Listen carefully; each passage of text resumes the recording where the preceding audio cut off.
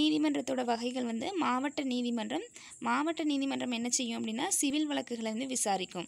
அமர்வு நீதிமன்றம் வந்து குற்றவியல் வழக்குகளை விசாரிக்கும். இப்போ வந்து இந்த படத்துலலாம் பார்ப்போம்ல குற்றம் பண்ணவங்களை வந்து ஒரு சேரில் உட்கார வச்சு பக்கத்தில் விசாரிப்பாங்கள்ல அப்போ வந்து குற்றவியல் வழக்குகளை விசாரிக்கிறது அமர்வு உட்கார்ந்து விசாரிப்பாங்கன்னு ஞாபகம் வச்சுக்கோங்க. அப்போ அமர்வு நீதிமன்றம்னா குற்றவியல் வழக்குகளை விசாரிக்கும்.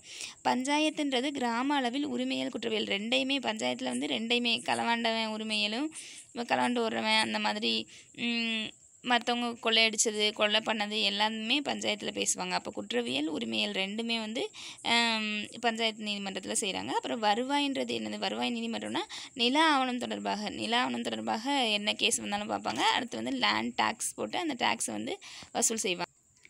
லோக் அதாலத் லோக் அதாலத்துன்றது மக்கள் நீதிமன்றம். இது வந்து விரைவாக நீதி வழங்குறதுக்காக ஏற்படுத்தப்பட்டது. லோக் அதாலத்தில் வந்து மூன்று நபர்கள் இருக்காங்க. ஓய்வு பெற்ற நீதிபதி சமூக பணியாளர் வழக்கறிஞர் இந்த மூணு பேர் இருக்காங்க. முதல் லோக் அதாலத் வந்து எங்கே ஏற்படுத்தப்பட்டதுன்னா ஆயிரத்தி தொள்ளாயிரத்தி எண்பத்தி ரெண்டு குஜராத்தில் ஜுனாகத் அப்படின்ற இடத்துல வந்து ஏற்படுத்தப்பட்டது. அப்போ முதல்ல முத முதல்ல லோக் அதாலத்தை எங்கே போட்டிருக்காங்கன்னா குஜராத்தில் ஜுனாகத்தில் வி பிரைம் மினிஸ்டர் இருக்க ஊரில் தான் ஃபஸ்ட்டு இம்பார்ட்டன்ட் கொடுக்குறாங்கன்னு ஞாபகம் வச்சுக்கோங்க. அப்போ குஜராத்தில் ஜுனாகத் அப்படின்ற இடத்துல.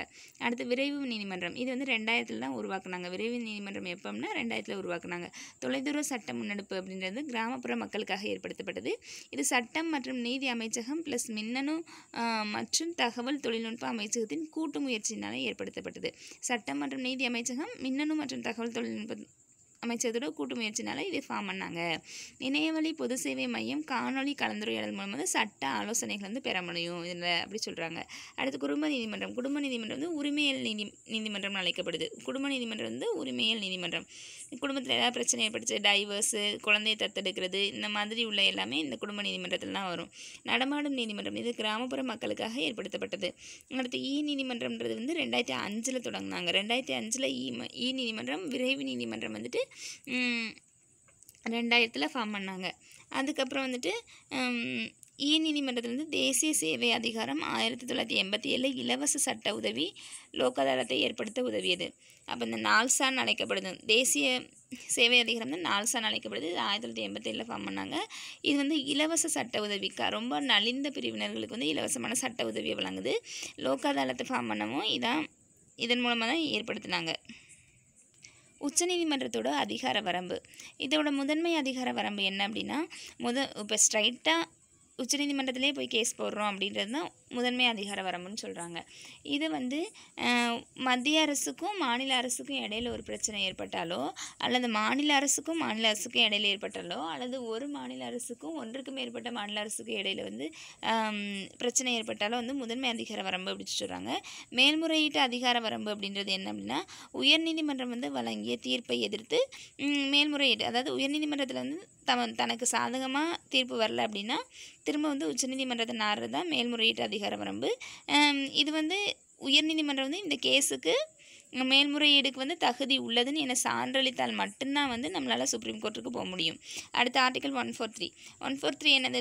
தனக்கு ஏதாவது சந்தேகம் இருந்தது அப்படின்னா ப்ரைம் சாரி பிரசிடென்ட் வந்துட்டு நம்ம சுப்ரீம் கோர்ட்டை வந்து கேட்க முடியும். அவருக்கு ஏதாவது ஒரு ஆலோசனை வேணும் அப்படின்னா இங்கே உச்சநீதிமன்றத்தை இது இது எப்படி ஞாபகம் வச்சுக்கலாம்னா குடியரசுத் தலைவர் வந்து உச்சநீதிமன்றத்தை லவ் பண்ணுறாருன்னு ஞாபகம் வச்சுக்கோங்க. அப்போ ஒன் ஃபோர் த்ரீன்றது வந்து கு குடியரசுத் தலை தலைவருக்கு தேவையான சட்ட ஆலோசனைகளை உச்சநீதிமன்றம் மூலமாக பெற்றிருக்கிறாரு. அடுத்து வந்து நீதி பேராணை. நீதி பேர ஃபண்டமெண்டல் ரைட்ஸை மீறும்போது அடிப்படை உரிமைகளை மீறப்படும் போது உச்சநீதிமன்றத்துக்கு ஸ்ட்ரைட்டாக நம்ம போக முடியும். ஆர்டிகல் தேர்ட்டி டூ படி.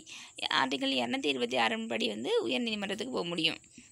அடுத்து வந்துட்டு ஆவண நீதிமன்றம். ஆவணம்னா நீதிமன்ற நடவடிக்கைகளை வந்து ரெஜிஸ்டர் பண்ணி ஒரு ஆவணமாக வச்சுருக்கோம். தனக்கு கீழே உள்ள நீதிமன்றங்களை வந்து த கட்டுப்படுத்துகிற அதிகாரம் இதுக்கு இருக்குது சிறப்பு அதிகாரம் என்னம்னா கீழ் நீதிமன்றங்களின் செயல்பாட்டை கண்காணிக்கிறது. கீழே உள்ள நீதிமன்றங்கள் எல்லாம் கரெக்டாக செயல்படுதா அப்படின்னு சொல்லிட்டு.